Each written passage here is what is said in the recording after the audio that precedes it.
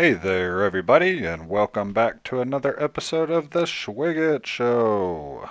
Now, on today's episode, we're going to be doing a speed build on how to create a larger circle house, or cone house, or, well, I'm not really sure what to call it. Um, actually, uh, after you see it, leave a comment below and let me know what you think would be the most appropriate name for this style of house. But nonetheless, so the first step we're going to take is using some fence foundations to build a circular pattern. Now, if you watch my video, three quick and easy ways to build circles in Ark, it will go over in detail exactly what I'm doing here and what you need to do for this first step. And then actually this is probably the most important step and um, probably the most challenging step in this whole build. Everything after this is pretty straightforward and easy. Matter of fact, uh, the entire build turned out to be about a thousand pieces. So I'm not going to make you guys sit there and watch me place each individual piece. Instead, I'm going to show you a short clip of each step, maybe placing four or five pieces on each step, and then I'll jump to the next step.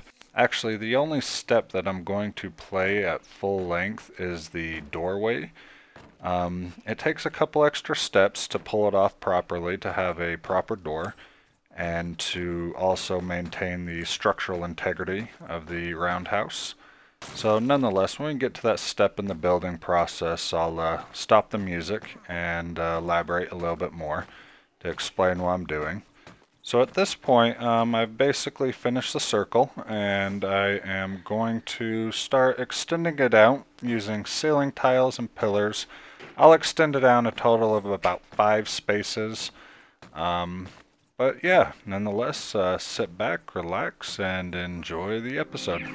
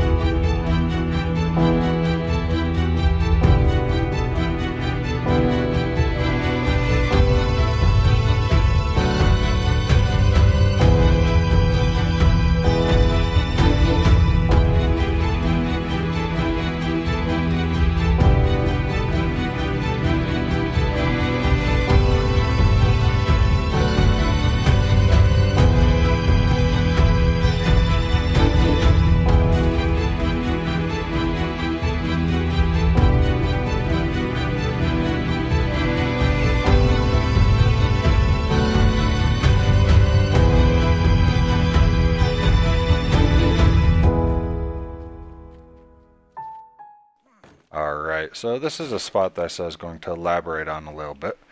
And basically we need to get rid of that pillar that's in the middle of our doorway. And that pillar is actually the only pillar holding up that segment of the roundhouse. So to do this we're just going to build another pillar off to the side and connect a ceiling tile right there to the ceiling tile that we need to keep standing. I built two, being OCD, but I'm trying to keep everything even.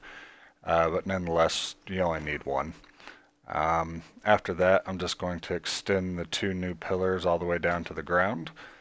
And yeah, that's that. So that's kind of the, I guess, trickiest part with the roundhouse is making a proper opening. I will go ahead and comment. Um, earlier you saw me make that little overhang over the entryway and that actually was necessary because that entryway, those two pillars out front, are holding the two ceiling tiles that are next to this ceiling tile that we're supporting right now. So it is necessary. I'm sure there's another way to go about it, but this is the way that I use.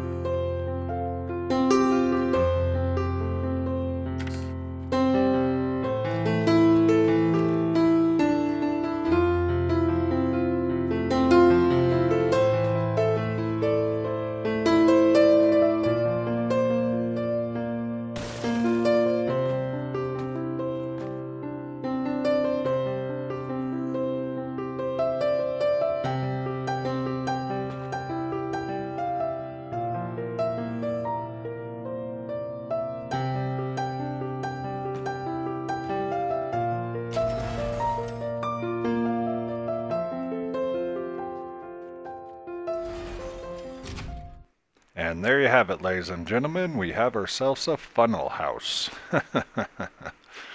uh, but it's pretty cool, yeah? And I could think of uh, quite a few other things we could do to it. Uh, maybe a spiral staircase going up it. Um, you could definitely add levels to it, maybe even a loft. You could uh, do a moonroof perhaps, or even balconies up top, you know, sticking out the side. But uh, yeah, lots of different possibilities here. But nonetheless, I hope everybody enjoyed this episode of the Shwigit Show, and I hope you all have a wonderful rest of your day.